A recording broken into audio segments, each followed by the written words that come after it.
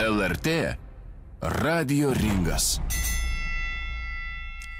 Sveiki, čia Liepa Želnienė. Ir Marius Jukubaitis. Seimas jau kitą savaitę svarstys rinkimų kodeksą, kuriame numatyta griežtinti veikimo sąlygas rinkimų komitetams. Būtent šie pokyčiai labiausiai nepatinka projekto kritikams. Jie teigia, kad rinkimų komitetai be, bus beveik prilyginti politinėms partijoms, bet valstybės finansavimo negaus. Savo ruoštų naujus suvaržymus komitetams palaikantys atkerta, kad dabar šios politinės organizacijos buvo paliktos be kontrolės. Taigi, ar reikia apynasrio visuomeniniams rinkimų komitetams? Komitetams o gal tai kaip tik sumažintų demokratiją svarstysime apie tai šiandien lrt radijo ringe.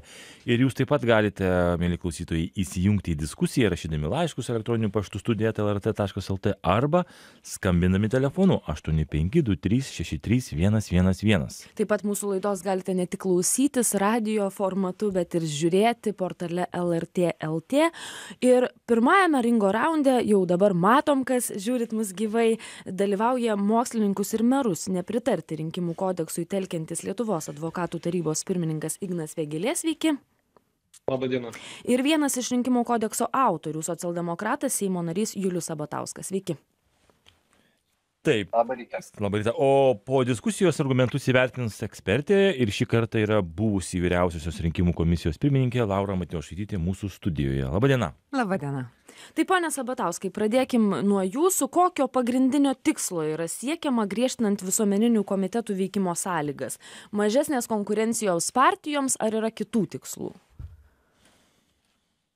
Ne, mažesnė konkurencija tikrai nebus, nes jinai Pone Sabatauskai, jeigu galite šiek tiek garsiau kalbėti, nes prastokai girdim. mažesnės konkurencijos nebus. Nes rinkimų komitetai galės egzistuoti kaip ir dabar. Tik tai problema sprendžiama pagrindinė skaidrumas. Atsiranda didesnis skaidrumas ir jeigu šiandien rinkimų komitetai yra kaip vaiduokliai, tiesiog netgi galima sakyti, nes žmonės susibūrė mėnesį prieš rinkimus, įsirašo rinkimų komitetą, sudalyvauja rinkimuose, po rinkimų rezultatų paskelbimo jie išnyksta kaip rimas. Tai yra netgi jie registruojami tik kaip darinys, laikinas darinys, tik rinkimų, vyriausios rinkimų. Dabargi jie galės veikti pastoviai, nes visi žinome ypač politologai tą teigia, kad rinkimų kampanija prasideda kitą dieną po rinkimų rezultatų paskelbimo, netgi tą pačią.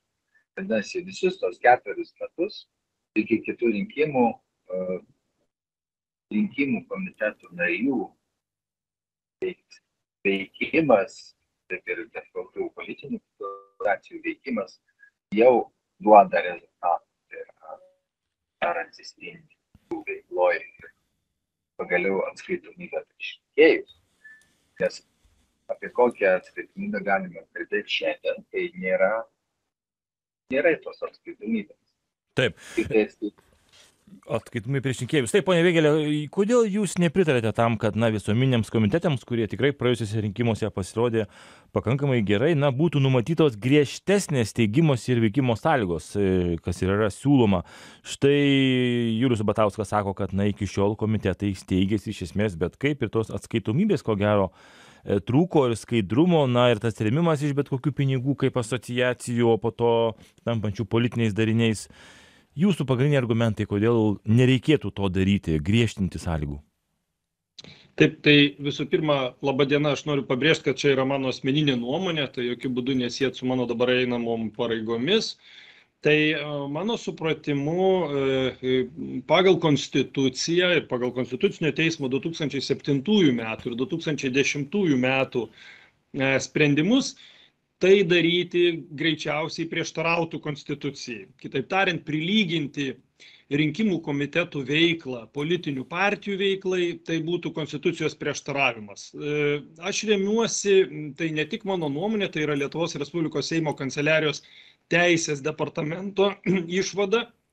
Joje yra cituojami ir tie konstitucinio teismo tos dalis nutarimo, kurios galimai galėtų prieštarauti va šitam reguliavimui juk septintais ir dešimtais metais konstitucinis teismas būtent ir pasakė kad vien tik tai užkirt, užkirtimas kelio rinkėjam rinkti į savivaldą vien tik per politinės partijas, tai būtų jų pasiviosios rinkimų teisės suvaržymas. E, piliečiai turi teisę rinktis, rinkti savo atstovus į savivaldą ir tokius asmenys, kurie nepriklausytų politinėms partijoms. Bet šiuo atveju niekas neuždraudžia tų visuomeninių komitetų E, ir neriboja taip, jų. Pati, būtent, bet pati e, pats e, reguliavimas ir yra tas, kad pagal Konstitucinio teismo, taip kaip supranta ir Teisės departamentas, ir aš kaip jį suprantu, tai pagal tą reguliavimą yra akivaizdu, kad jie gali susikurti ir jų sąlygos veikimo neturėtų būti prilygintos politinių partijų veikimui. Tai Tai čia tai turbūt požiūrio klausimas ir turėtų Konstitucinis teismas atsakyti, ar iš tiesų tai prilyginama ar neprilyginama, nes jos nėra visiškai identiškos. Pone Vėgelė, bet būkim atviri, jūs pats ketinate steigti ar padėti steigti kažkokį visuomeninių rinkimų komitetą, artėjant kitų metų, dar kitų metų rinkimams? Oi, aš žinokit, visiškai nesieju čia su savimi ar su kažkuom, tai aš sieju su labai paprasta teise rinktis. Aš jums galiu pacituoti, ką sako Konstitucinis teisė, teismas. E, Išimtinė politinių partijų teisė dalyvauti formuojant politinės atstovaujamasias institucijas reikštų, kad piliečių nesančių politinių partijų nariais ir nesusaistytų jokiais ryšiais su politinė partija galimybės įgyvendinti rinkimų teisę būtų apsunkintos ir taip toliau ir taip toliau. Ir e, jeigu kalbėt apie skaidrumą, kad tai bus didesnis skaidrumas, žinoma, galima rinkimų komitetų sureguliuoti taip, kad jie būtų skaidresni, tačiau kas vykdoma šituo e, įstatymų realiai, tai yra, jie yra prilyginami. Reguliavimas iš esmės yra visiškai analogiškas kaip politinės partijos. Skirtumas yra tik tai pavadinime. Ir skaidrumo problematika yra labai negera tuo, kad yra specialiųjų tyrimų tarnybos išvada, dėl šio įstatymo projekto, kuriame specialiųjų tyrimų tarnyba sako priešingai, kad politinių partijų reguliavimas pagal šį įstatymą Aš galiu Taip pacituoti. aptarsime, ponė Vėgelė, čia labiausiai dėl tų idėjų kalvių turbūt, bet šiandien labiau gal akcentuokime į visuomeninius rinkimų komitetus ir aš visgi neišgirdau jūsų atsakymo, tai taip ar ne, ar jūs ketinate steigti kažkokį darinį, padėti steigti? Šiuo metu tikrai neketinu ir, ir, ir, nepa, ir, ir neplanuoju to daryti. Aš turiu savo darbą, dar noriu pailsėti po aštuonių metų dviejų didelių kadencijų advokatų tarybos pirmininko pareigose. Taip. Bet klausimas yra, čia visiškai, čia nereikia suosmeninti. Klausimas yra labai paprastas apie konstitucinę teisę piliečių išsirinkti dalyvauti pasyviai rinkimuose. Taip, ponė Sabatauskai, jūsų nuomonė, konstitucijai Lietuvos prieštarautų toks, na, sugretinimas, sulyginimas pagal, e, pagal teisės ir pareigas, na, visuomeninių komitetų, kurie yra savivaldybėse e, ir, ir partijų? Ar tai prieštarautų pačiai konstitucijai? Teisės departamento, Seimo kanclerės teisės departamento pastatas pagal statutą privalomas buvo įvertinti teisės teisės ne, kuris sprendžia įmanymą yra prieštaravimas ar ne. Ir nepamirškime, kokiom aplinkybėm esant konstitucinis teismas vertina. Tai ten buvo būtent apie asmenis, kurie iš vis, tiek kalbėti 2007 nutarimą, kurie iš vis negalėjo dalyvauti rinkimuose. O paskui buvo įrašyti visi, kurie išsikėlė savo lietuves į vieną sąrašą. Taigi Konstitucinis teismas vertino būtent tas aplinkybės. Dabargi iš esmės niekas nedraudžia dalyvauti menims rinkimuose, tik reikia steigti rinkimų komitetą. Skirtumas dabar rinkimų įstatymų, politinio organizacijų įstatymų projekto ir rinkimų kodekso tik toks, kad tie komitetai turi būti jau įsteigę kaip juridiniai asmenys. Nes jie turi būti registruoti registre, jiems atitinkamai galioja tie patys reikalavimai, kurie tiesiog situacijom. Kitaip sakant, skaidrumas atsiranda didesnis tuo, kad ketverius metus, jeigu tu kaupi lėšas rinkimams, dabar rinkimų komitetai, jie įsisteigia formaliai per VRK tik tai prieš pat rinkimus, tačiau ketverius metus jie veikia kaip kažkokios tai visuomeninės organizacijos, asociacijos rėmose, su tuo pačiu pavadinimu, rinkdami lėšas, pavyzdžiui, iš juridinių asmenų, kas, pavyzdžiui, Draudžiama. Pone Sabatauskai, mes gal aukokim vaizdą dėl garso, nes iš ties sunku jūsų klausytis, gal pabandykim tiesiog telefonu kalbėtis. Pone Vėgelė, kaip jum atrodo, ar tai sąžininga apskritai, kad šiuo metu yra, na, galima įsisteigti mėnesis iki rinkimų, per, į, nuo rinkimų iki rinkimų veikti kaip asociacija, tos asociacijos sąskaiton rinkti bet kokią paramą ir staiga juos naudoti tai reklamai ar ne, kuri niekaip ne, nekontroliuojama, o o paskui staiga tapti rinkimų komitetu. Gal čia išties reikia kažkokios didesnės kontrolės? Nes kitaip išeina taip kad partijoms tie suvaržymai yra griežtesni negu rinkimų komitetams ir mes matom kad tų rinkimų komitetų daugėja akyse.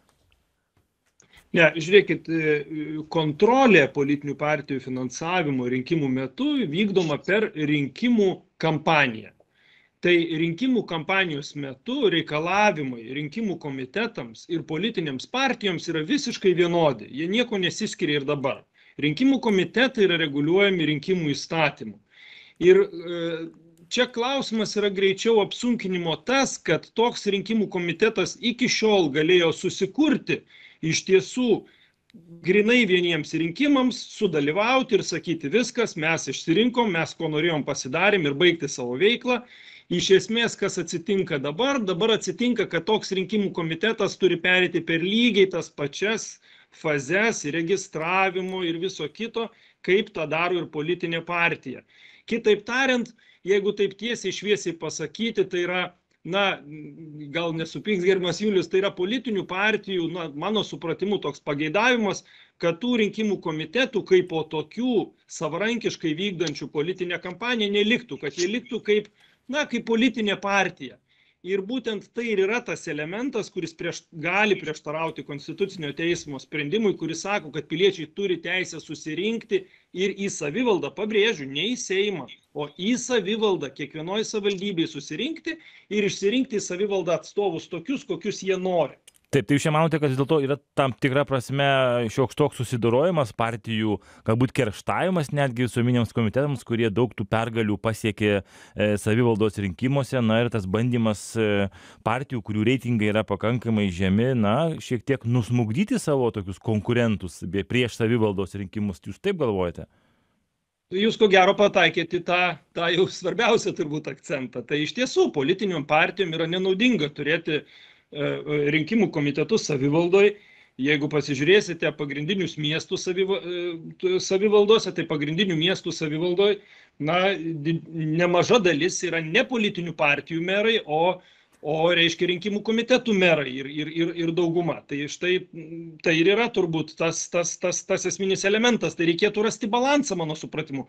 Viskas teisinga, kažkokį skaidrumą papildomi galima reguliuoti, bet vis tik tai sureguliuoti lygiai taip pat kaip politiniai partijom, mano supratimu, tai pažeistų Konstitucinio teismo nutarimus taip. Ir dar dėl finansų iš tikrųjų ką ir ponas sabatauskas kalbėjo tikrai kas kaip norima tuos pinigus rinkti taip ir renkama. Na asociacijos galbūt iš pradžių netgi nėra tos kontrolės didelės ką kas remia tuos komitetus na ar judėjimus kurie po po to virsta politiniais mm, politiniais judėjimais ir eina į rinkimus vis dėlto tai galbūt čia tos ir reikėtų daugiau drausmės kad jeigu na tave remia a tai turėtų būti ir atskaitinga arba tam tikri ir finansavimo modelis turėtų būti iki kokios sumos galima remti ir panašiai. Kaip manote ar čia nereikėtų tokios didesnės tvarkos vis dėlto? Aš dar kartą pabrėšiu kad reguliavimas rinkimų metu yra visiškai vienodas.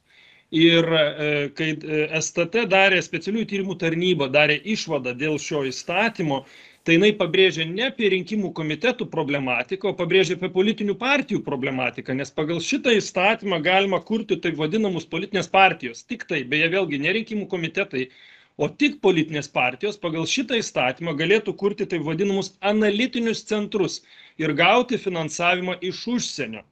Ir būtent tokį na kaip aš suprantu iš stt išvados nekontroliuojamo jų manymu finansavimo iš užsienio Ir tai e, STT manimų būtų, nu, galėtų būti piknaudžiavimas būtent finansais. Įtraukim poną Sabatauską, pavyko užmėgsti nu, gal geresnį ryšį, tikėkime. Pone Sabatauskai, štai vat ir ponas Vėgelė sako, kad tai primena partijų susidorojimą su visuomeniniais komitetais, kurie, na, turi daugiau populiarumo visuomeniai, pagal bent jau merų rinkimų rezultatus turbūt galima taip iš dalies teikti, o partijų reitingai, na, vis krenta. Tai kaip kaip jum atrodo gal čia tikrai yra na toks tylus kerštas už komitetų pergales merų savivaldos rinkimuose? Grįžtant ypač griežtinant taisykles ir na finansavimo iš valstybės biudžeto nenumatant nes gal tai būtų išgelbėjimas tiem patiem komitetam ir atmestų dalį kritikos šitam projektui. Tai iš tiesų teiginys iš principo neteisingas kad didėja didėja iš tiesų populiarumas didėja bet pažiūrėkime iš šešiasdešimties savivaldybių penktadalyje savivaldybių rinkimų komiteto atstovai yra merai. Kaip likusioje keturiose penktadaliuose savivaldybių merai yra ne komiteto atstovai o partijų atstovai. Tai šia prasme taip konkurencija šio yra tam tikra tačiau jinai nėra tokia visiškai kad sakote jie užgožia tam tikrose savivaldybėse taip. Tačiau nepamirškim dar vieną momentą, kad e, vyko netgi gudravimai. Kai kurių kandidatų į merus, jie būdami kai kurių partijų nariais įsisteigia komitetus, neva, kad jie nebūtų siejami su tomis partijomis, e, dalyvavo rinkimuose. O po to, kad ir atsiskyrė nuo savo motininės partijos, tapo kitų partijų steigėjais. Nors jie yra išrinkti kaip komiteto atstovai. Bėda dar viena, kad vis, rinkimų komiteto atstovai išrinkti į savivaldą, į savivaldybės tarybą, po rinkimų komiteto nelieka dėjūrė. Tačiau jeigu išrenkami nariai, nu, jie egzistuoja, jie dirba tose tarybose, tačiau jau niekaip lyg ir formaliai neturėtų būti sėtini su tais komitetais, nes komitetų nebėra. Jie, šis įstatymo projektas leidžia toliau jiems atstovauti tą komitetą visų, visą kadenciją ir tada vienintelis būdas rinkėjų bausti politikus už jų pažadų nevykdymą, tai nebalsuoti už juos kitose rinkimuose, kad šiandieninė situacija leidžia rinkimų komitetams. E, Ta paminėjo ir ponas Vėgėlė, kad štai vieną kartą sudalyvavęs kaip vieno komiteto atstovas, kitą kartą dalyvauja jau kito komiteto atstovas ir rinkėjų galvose sumaištis. Bet, ponas Tabatauskai, dar šiek tiek... Kągi jis atstovauja? Pagaliau nu... rinkimai savivaldoje ne tas pats, kad Seimo rinkimai. Taip, dar šiek tiek apie finansavimą. Turi E, Ponas mhm. Sabatauskas, turime mažai, e, mažai laiko turime. Viena vertus, jūs siūlote griežtesnės taisyklės rinkimų komitetams, o partijoms siūlote lengvinti finansavimą. Na, pavyzdžiui, didesnė suma aukotojams bus galima, nereikės turto deklaracijų, čia turime partijoms e, mažinti rinkimų užstatus, o komitetai ir toliau, pavyzdžiui, negaus valstybės paramos. Tai vis dėlto, na, jūs sutinkate, kad vieniems sunkiau, kitiems lengviau tą finansavimą savo judėjimams, partijoms pritraukti bus aukotojų reikalavimai vienodi tiek komitetams, tiek partijoms.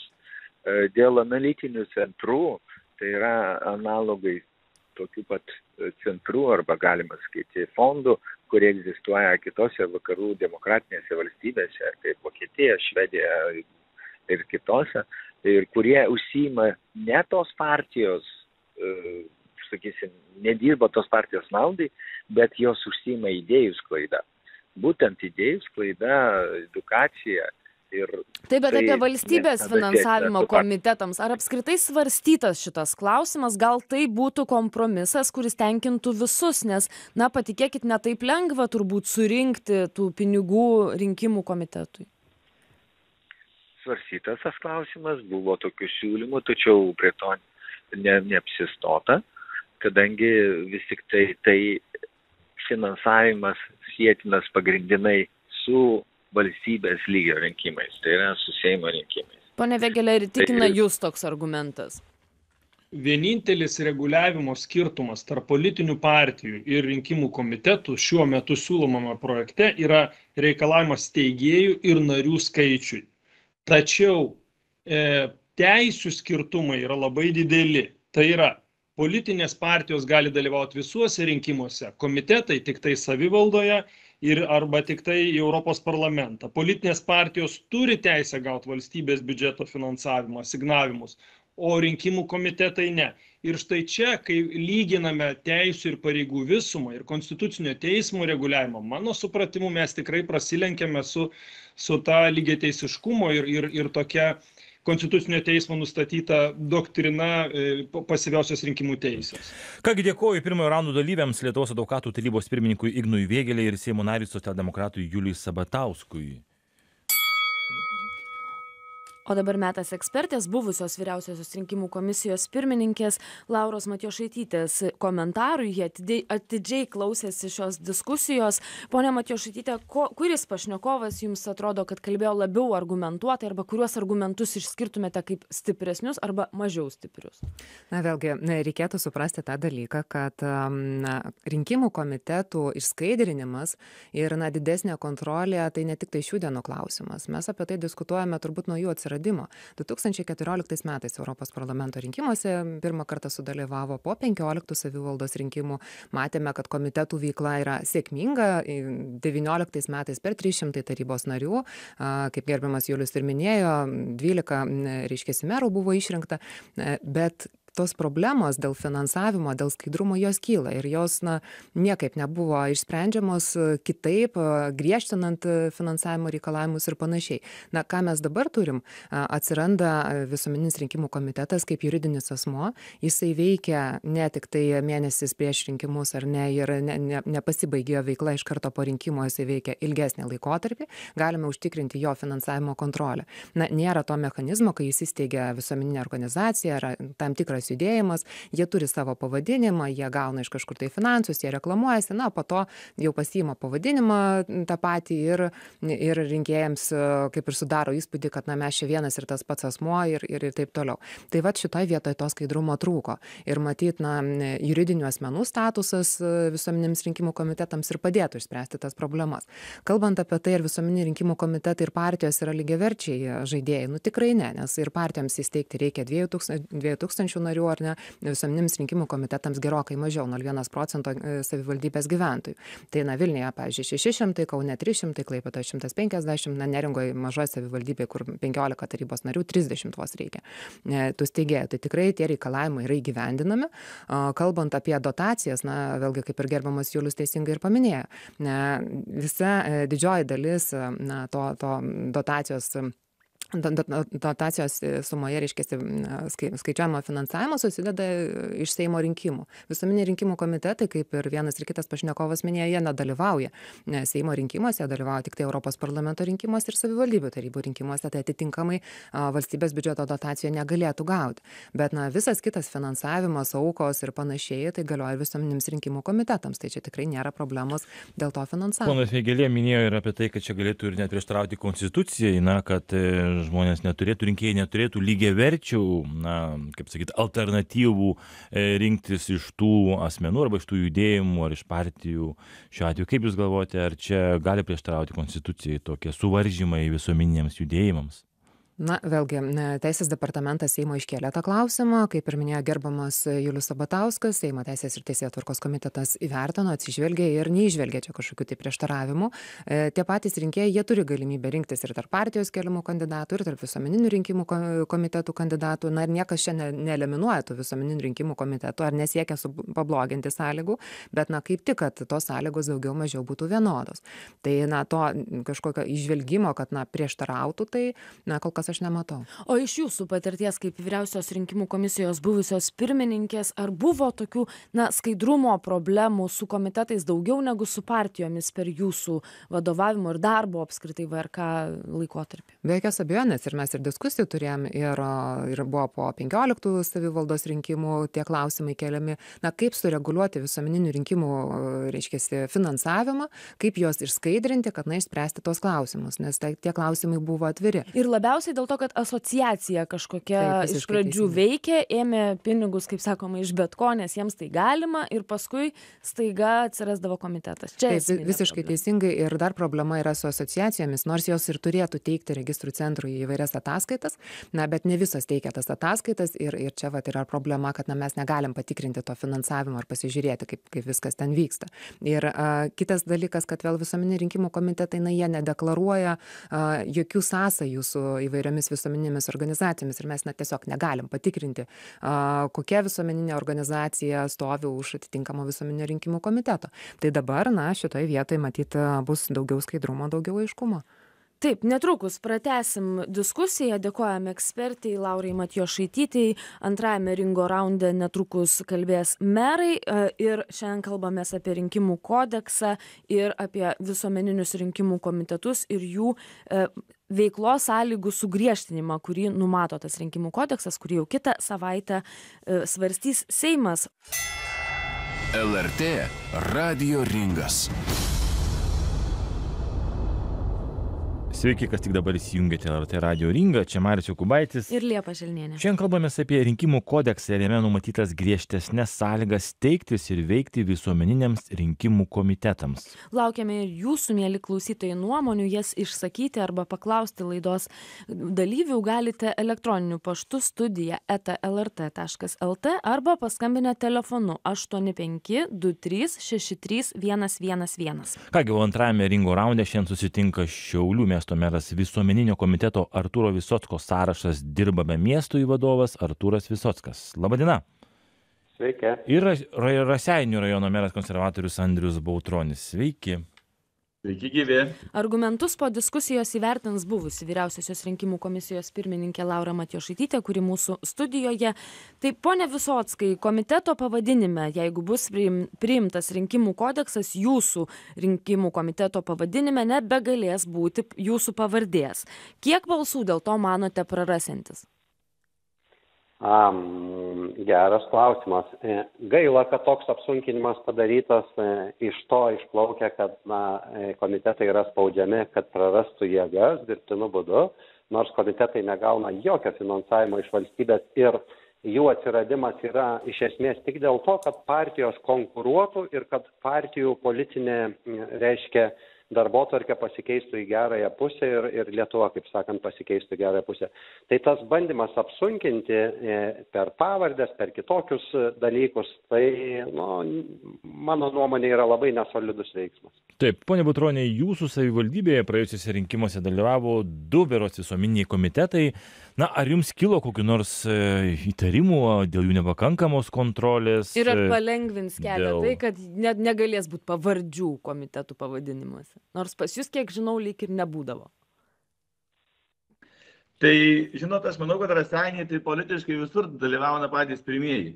Jeigu aš neklystu, kai tik tais atsirado galimybė su komitetais, tai raseiniai patys pirmieji išbandė, kaip komitetai veikia rinkimuose. Tai pas mus nuo komitetų nuėjo iki, iki brusdėjimų ir panašiai. Nes, na, mes tai puikiai matom, kad tie komitetai suaktyvėja ir tampa labai politiškai reikšmingi, reikalingi ir, ir prisimena atsakomybę iki rinkimų. Po rinkimų tuomet jie kažkaip išnyksta iš politinio žemėlapio ir vėl suaktyvėja artėjant politiniams sezonui. Tai palaukim. Tai jeigu mes šiandien dienai žaidžiam politiniam ringę, prisimam visą politinę atsakomybę, tai turėkime vienodas sąlygas tada galų gale. Ir finansavimą, ir atsakomybę, viską. Pas mus praeituose rinkimuose dalyvavo, dalyvavo, dalyvavo jo du komitetai ir po rinkimų tie komitetai liko opozicijoje ir visiškai jokio nei politinio žesto, nei politinio darbo nieko nebeliko. Prieš tai, aišku, buvo tie komitetai kai kurie ir, ir šitam valdančioji daugumoje, dabar jau jiems, kai žinau, kai kuriems tai sanktas pritaikytos dėl finansavimo ir panašiai, nes nu, tai nėra iškių žaidimo taisyklių. Dabar, jeigu pagal naują įstatymą tampa juridiniais asmenimis, tai labai gerai. Nes, na, gerimas Visoskas įvardino, kad negauna finansavimo, tai gal pasiklausimėt, iš kur gauna tą finansavimą šitie komitetai. Nes kaip pavyzdys, man, mes matom labai kokią praktiką įdingą. Planuojantys stoti į komitetus ar formuoti komitetą, pirmą susirenka iš verslo arba iš kitų institucijų lėšas arba privačių asmenų ir tada kuria komitetą su savo lėšomis. O pinigai greičiausiai būna atėję iš tam tikrų struktūrų arba tam tikrų asmenų. Aš tikrai netaikau personaliai gerbiamam visoskui. Viskas tvarkoju. Aš nei personalės, aš į įdingą komitetinę praktiką. Ir kada komiteto žmonės eina ir sako lozungais, mes ne politikai, tai kas tada jūs esate? Taip, duosim atsakyti tuoj pat ponui Visockui, bet mums ponia Bronislava iš Vilniaus paskambino. Labadiena, ponia Bronislava, ką jūs galvojate Na, apie griežtinimą sąlygų komitetams? Dėl, e, aš tai skaitau, kad komitetai tai tokia, e, e, tokia neaiški struktūra, kurią iš vis rinkėjam tik užduoda papildomą, kaip sakoma, kliūtį. Yra sistema, kuri buvo visą laiką, jau buvo ištobulinta. Aš dalyvau ilgą laiką rinkimuose ir žinau, kad vienintelis, kur teisingas būtų kelias, tik tai stiprinti kontrolę stebėtojų, reiškia kontrolę tų žmonių, kurie tiesiogiai dalyvauja rinkimuose, kad jie būtų kontroliuojami, atsakingi, žiūrėtų, kaip sakoma, tą virtuvę, kur ten skaičiavimas, kur tenai, kad neprasmuktų. Į ten tik tokiu būdu galima e, už, e, užkardinti šitą nusikalstamą e, veiką. Bet viskas aišku. Dėkuoju, Aš ponia Bronislava. Taip, aišku. E, Pone Visotkai, štai ir girdėjote, na, kaip Jūs galvote, gal tikrai komitetų veikloje reikia daugiau tvarkos? Na, pavyzdžiui, tikrai dabar jį gali steigti, kad ir dešimt piliečių. Paremti iš esmės, kaip ir sakė e, Jūsų e, konkurentas, meras, e, gali iš esmės bet kas paremti tuos visuomeninius judėjimus, sambrūzdžius. Taip, gal čia tikrai reikia to daugiau skaidrumo, ar ne? Kaip Jūs galvojate?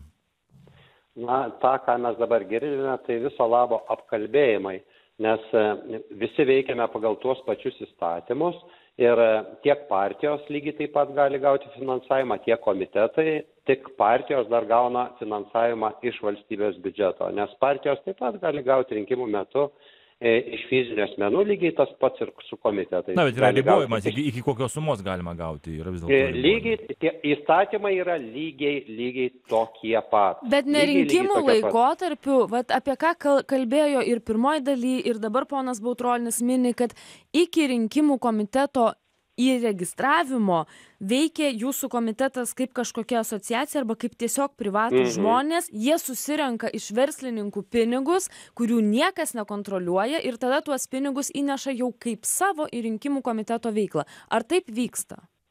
Akivaizdu, kad tai yra visiškas melas, tai nevyksta, nes pagal įstatymą komitetas susikūrė tik tai tam tikrų laikotarpių, ką pats meras paminėjo, ir tik tada prasideda visas procesas. Ir kaip tik, aš nežinau, partija e, nieko nepraranda rinkimų laikotarpiu, nes partija finansuoja ir kiek pinigų jam lieka, lieka partijos kasoje, o komitetas visus visus pinigus praranda rinkimų metu. Tų pinigų, kurių jis nepanaudoja, jis turi pervesti valstybei, na tarkim, mes surinktumėm 10 tūkstančių eurų, rinkimam panaudotumėm 8, tai likusius 2 turėtumėm tiesiog pervesti valstybei, ko partija neturi daryti. Čia apie sąlygų lygumą nėra ką kalbėti. O žmonės reaguoja į komitetų veiklą, todėl kad jie yra modernesni. Na, tarkim, mano komitetas iš kokių 500 organizacijų, jeigu sudėti visas partijas ir visus komitetus, kurie dalyvauja savildai, yra vienintelis turbūt Lietuvoje, kuris du kartus visus dokumentus susitvarkė elektroninėje erdvėje. Tai yra jis labai modernus. Ir paskui mus turi pasistiepti ir partijos, nes truputį gėda, kai visi ten laksto su tais e, parašų rinkimais ir taip toliau. Čia yra daug dalykų, kur yra komiteto reiškia patrauklumas didesnis negu partinis, todėl žmonės už juos ir balsuoja. Šiauliuose pirmą kartą nuo 90-ųjų metų yra politinė dauguma ir ta dauguma yra nepartinė, būtent komitetui skirta dauguma. Tai jeigu tas komitetas veiktų taip blogai, tai kodėl žmonės iš prieš tai buvusių šešių narių taryboje, po to kituose rinkimuose jau davė 16 narių. Taip, Taigi matom, žinote, sprendžia. kad ponas Bautronis irgi nori reaguoti, jau mojavo ranka, kad nesutinka. Tai, ponia Bautroni. Ga, įsijunkit mikrofoną, prašau. Jūs manęs negirdit? Taip. Dabar girdim. Greičiausiai komitetai atjungė mano mikrofoną trumpam. Šitą šiek tiek gerbiamas visos, kas pasakė melagieną. Kad jie praranda nepanaudotus pinigus, perveda iš karto valstybei. Lygiai taip pačiai su partijom.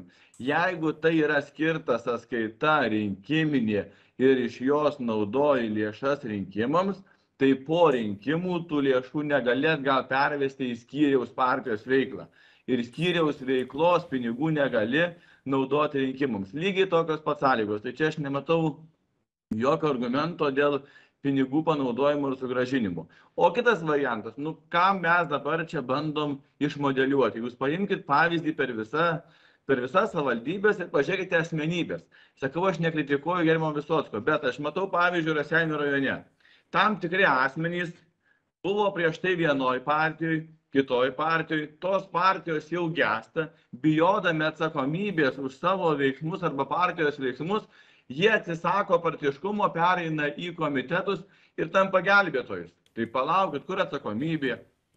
Tai jeigu tu prieš tai buvai dviejose kadencijose vienos partijos asmuo, pridirbai tam tikrų reikalų, paskui aš jau, žinokit, ne partijos narys, aš ne tos partijos narys, aš ne politikas, sako, aš einu su judėjimu, pas mus sako net ne judėjimas, o brusdėjimas jau. Tai palaukit, tai kas čia per atsakomybę dabar? Pone Visockai. Jeigu mes pakeičiam, Taip. pakeičiam pavadinimą ar keičiam ir paskui atsiranda kitos atsakomybės, jokių būdų. Pone Visockai, kodėl jūs, pavyzdžiui, nekūrėte partijos, o būtent komitetą? Taip, nes nuolatinė veikla jūsų, nu, tie patys nariai. Ačiū, atsakysiu labai tiksliai. Partijose yra apie 2 procentai Lietuvos gyventojų. Kiti gyventojai, na, ignoruoja partijas ir dėl vienokių ar kitokių priežasčių. Ir tie gyventojai ieško išeities. Ir komitetai, tie, kurie veikia, na, aiškiai, skaidriai, dėl to pritraukia dėmesį. Ta dėmesį pritraukia labai stipriai. E, Na, tarkime, imkime Šiaulių miestą, Kauno miestą ir miestų veikimas pakito. Ir, na, kas atsiranda tada? Tada atsiranda, nu, kaipgi tuos komitetus reikia paveikti, kad jie susilpnėtų.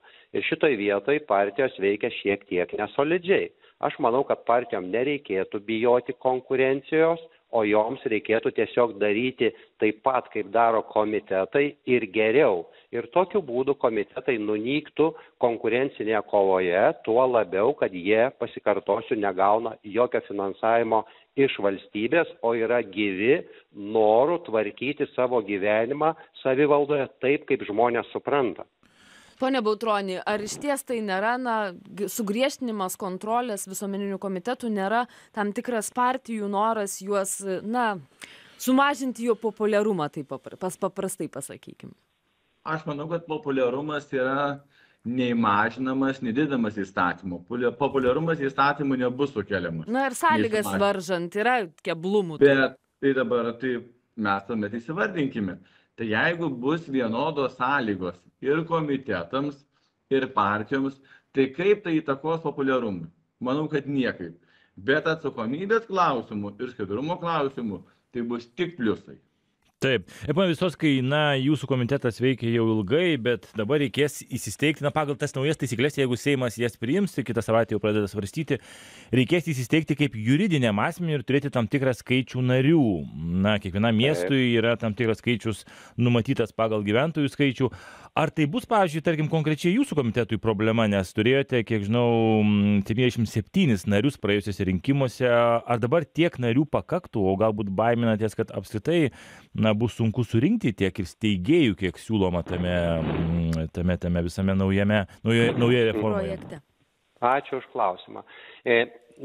Tiek narių, kiek reikia surinkti, surinktumėm per gal 10 minučių. Iš tikrųjų, nebūtų problema surinkti ir tūkstantį steigėjų, ir du tūkstančius steigėjų, tiesiog kelių dienų bėgėje, bet ne tame esmė.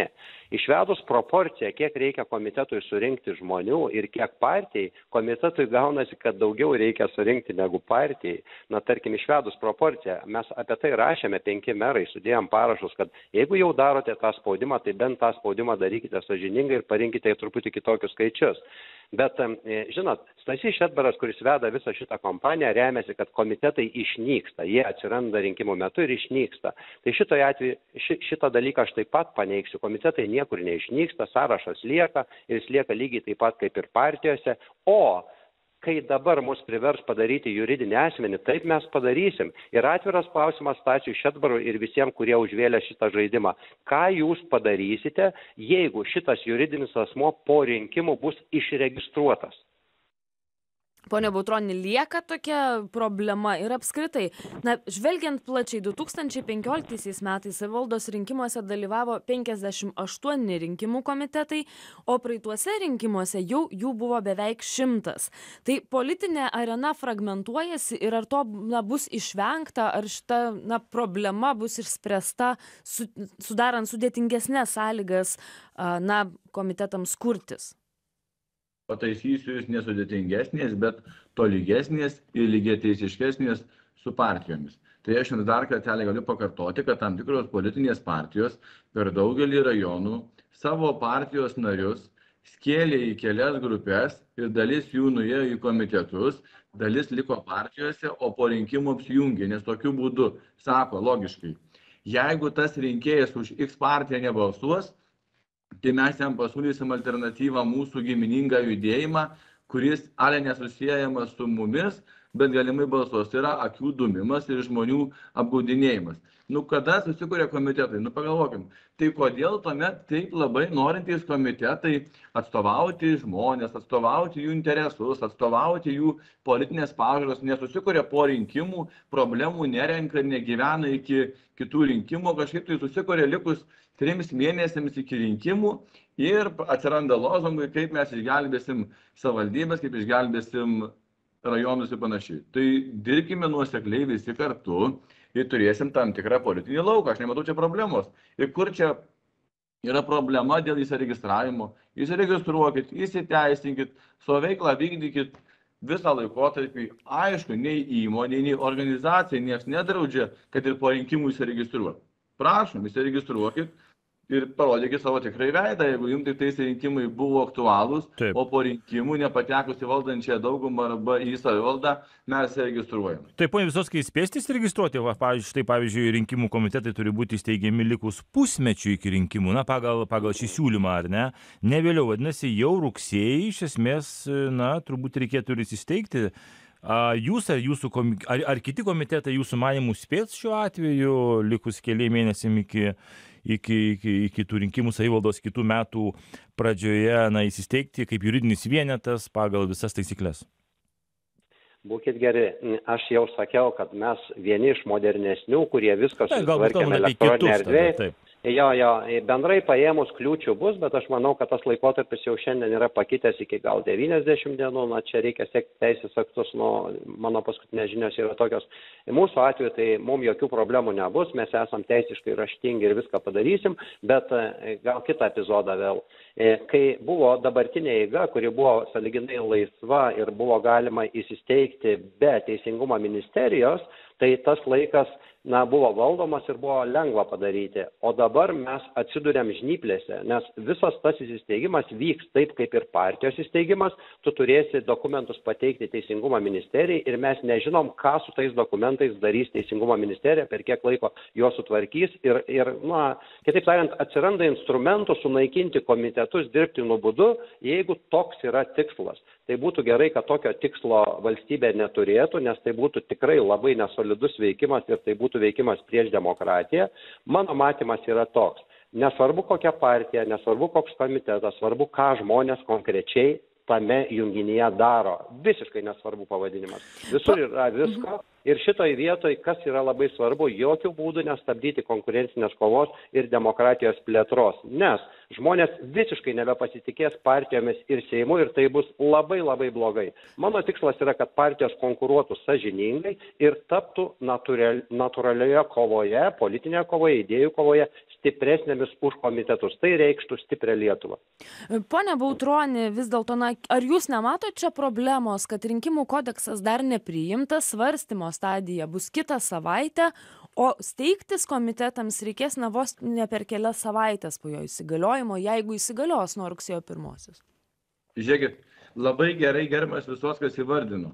Raštingi komitetai susitvarkys labai greitai viską o tie komitetai kurie buvo susikūrę susirinkę žmonių grupė iki iki rinkimų ir po rinkimų tuos žmones paleido ir su jais nebedirbo dabar aišku jiems bus sunku nes jiems reikės pradėti visą darbą nuo nulio.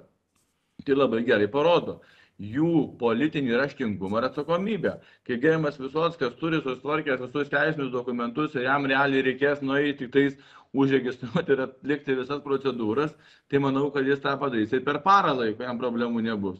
O tie komitetai, kurie buvo susibėgę tik tais sudalyvauti rinkimuose, sukelti politinį erzelį, jiems dabar bus daugiau problemų, nes reikės surinkti asmenys, suregistruoti, sutvarkyti, įsiteisinti. Tai natūraliai tokiu būdu pseudo, pseudo politiniai komitetai, judėjimai ir brusdėjimai automatiškai jie nesuspėjo susitvarkyti, nes nedirbo savo darbo keturis arba tris metus. Ačiū uždėmesi. Taip, dėkuoju, ačiū uždėmesi antros dalies rinko dalyviams, Šiaulių miesto merui Artūrui Visoskui ir Raseinių rajono merui Andriui Bautroniui. Primenu, kad, kad kalbėjomės apie tai, ar reikia visuomeninius komitetus prilyginti partijoms ir įvesti tam tikrus ribojimus o dabar vėl kreipiamės į ekspertę buvusi vyriausiosios rinkimų komisijos pirmininkė laura matjošaitytė su mumis studijoj ir klausėsi įdėmiai merų. Diskusijos tikrai buvo aštresnė ar ne? Buvo daugiau argumentų išsakyta. Kuris meras jums atrodo kalbėjo įtikinamiau ir mažiau gyrėsi o daugiau kalbėjo apie reikalus Ne, nu, čia būkim bėdni, bet teisingai, ar ne? Rastainių meras tiesiai šviesiai išdėstė klausimo esmę ir, na, čia ne, nekalbame apie kažkokius tai ribojimus, draudimus dalyvauti rinkimų komitetams, siekia, siekius pabloginti jiems sąlygas ir panašiai dalyvavimu. Kalbama apie tai, kad, na, panašiamis daugiau mažiau sąlygomis dalyvautų rinkimuose tiek politinės partijos, tiek ir visuomeniai rinkimų komitetai.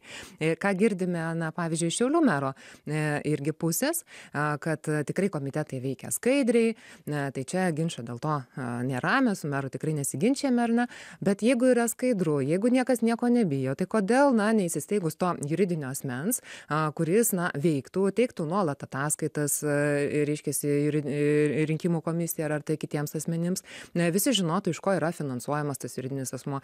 Ne, kalbant apie dotacijas, ir dabar visuomenė rinkimų komitetai negauna jokių dotacijų. Tai, tai čia, vat, toje vietoje irgi a, kokia situacija yra dabar, tokia ir bus ir ateityje ateity. Jeigu atsitiktų taip kad na visuomeninis rinkimų komitetas įsteigtas nuspręstų išsiregistruoti iš juridinių asmenų registro tai jo valia jisai turi tokią galimybę bet na pasižiūrėkim į tai kokie visuomeniniai rinkimų komitetai dalyvauja dalyvavo penkioliktų metų savivaldos rinkimuose dalyvavo devynioliktų metų savivaldos rinkimuose tas branduolys daugiau mažiau yra tas pats tai jam tikrai nebus jokios problemos a surinkti steigėjus susirinkimą reiškiasi sukviesti steigėjų nunešti dokumentus į teisingumo ministeriją. Galbūt problema bus ta ko bijo merai ar ar tie kurie steigs komitetus kad teisingumo ministerija užstrigs užstrigs kažkokie tai procesai nes kartais taip mes girdim su politinių partijų steigimu trys keturi mėnesiai na dokumentų tikrinimas ir ir visa kita.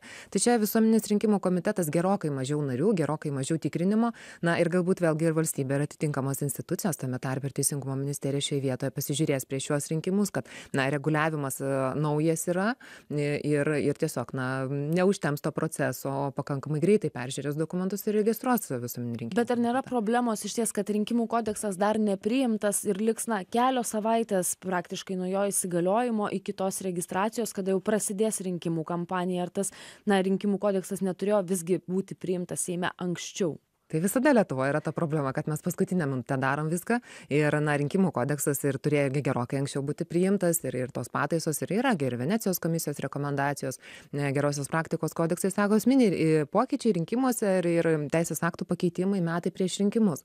Tai čia mes į tuos metus prieš rinkimus niekaip netelpam.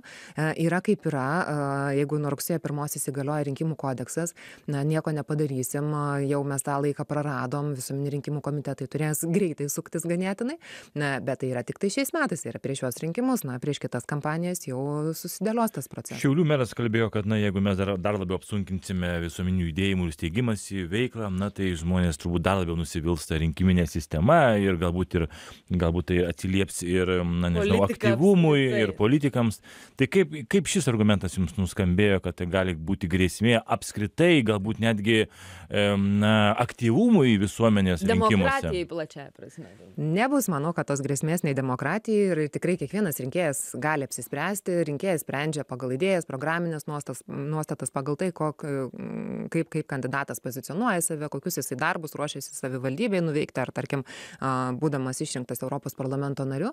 Tai čia tikrai kažkokios grėsmės demokratijai nematau. Ar nuo to sumažės rinkėjų aktyvumas? Manau kad ne. Nu pasižiūrėkim. A metai iš metų piliečių rinkėjų susidomėjimas visuomeniniais rinkimų komitetais auga. Na vis daugiau visuomeninių rinkimų komitetų narių atstovų keliamų kandidatų išrenkami į tarybos narius. Tai čia tos grėsmės nėra. Na ir ir ir dabar pasižiūrėkim kas iš esmės pasikeičia. Iš esmės pasikeičia kad visuomeninis rinkimų komitetas ne nebus tas laikinas kaip ir julius sabatauskas minėjo darinys vaiduoklis ar ne kažkoks kuris atsiranda vos prieš rinkimus ir po rinkimų jau ne uždaro duris ir ir išsiskirsto. Taip tie žmonės veikia savivaldybėje mero pozicijas užima ar ne tarybos narių pozicijas ir taip toliau.